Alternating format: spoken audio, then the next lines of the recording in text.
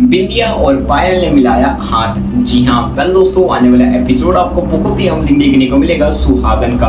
और वही एक तरफ़ आपको सुहागन के अपकमिंग एपिसोड के अंदर देखने को मिलेगा कि फाइनली बिंदिया और पायल ने मिला लिया है हाथ। जी हाँ कल दोस्तों, हुआ कुछ है, यानी कि आने वाले एपिसोड के अंदर देखने को मिलेगा, कि फाइनली आपको पता होगा कि बिंदिया ने अपने बाकी सारे फैमिली मेंबर को, क्रिश को, क्रिश के फैमिली मेंबर को अरेस्ट करवा दिया होता है पुलिस के ज़रिए। जी हाँ और वहीं तरफ़ वो सारे अरेस्ट हो जाते हैं तो बिंदिया और पायल बात कर रहे होते हैं। जी हाँ और वहीं तरफ़ बिंदिया बोल रही होती है और बोल रही होती है कि वो, कि अब देखो, अब मैं इनको दिखाती हूँ बिंदिया का असली रूप। जी हाँ इन्होंने पुरानी बिंदिया को देखा होगा, लेकिन असली बिंदिया को नहीं देखा। देखा होगा। जी हाँ और ये दोनों बहुत ही हंस हंस के बात कर रहे होते हैं। जी हाँ और फाइनल जो बिंदिया होती है, वो बोल रही होती है कि अभी तो शुरुआत हुई है। अभी तो एकदम छोटा सा ट्रेलर है। अभी तो पूरी की पूरी फ़िल्म में इन लोगों को दिखाने वाली हूँ। जी हाँ कल अब देखना ये हुआ कि आखिर बिंदिया क्या क्या करना चाहती है अपने परिवार वालों के साथ, यानी कि क्रिश और क्रिश के परिवार वालों के साथ।